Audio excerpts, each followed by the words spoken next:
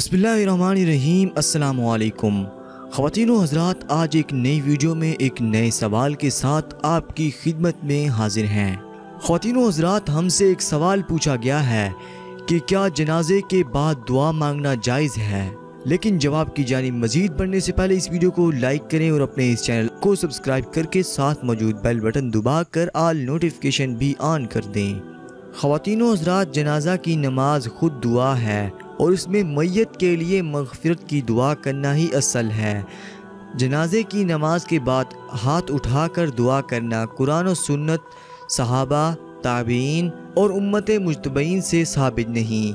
इसलिए जनाजा की नमाज़ के बाद इज्तमाही दुआ पर हाथ उठाकर दुआ करना मकरू और ममनू और बिदअत है।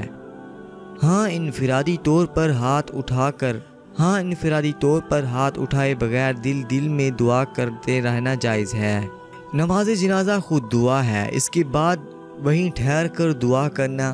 खातिन हजरात नमाज़ जनाजा खुद दुआ है। इसके बाद वहीं ठहर कर दुआ करना जैसा कि बाज़ जगह रिवाज है। शरण साबित नहीं। खुलासा अलफतावा में इसको मकरू लिखा गया है। फ़ुकाहा ने नमाज़ जनाजा से फारिग होकर, बाद सलाम मैत के लिए मुस्तकलन खड़े होकर दुआ करने से मना फरमाया है।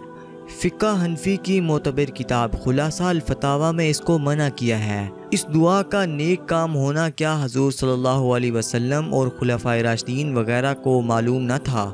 आज ही मुनकश हुआ है। तो ख़वान हजरात, हम उम्मीद करते हैं कि आपको ये वीडियो पसंद आई होगी।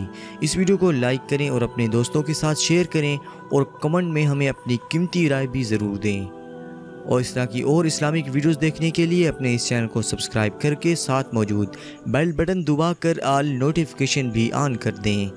हम मिलते हैं इन एक नए सवाल के साथ अगली वीडियो में। तब तक के लिए खुदा हाफिज़।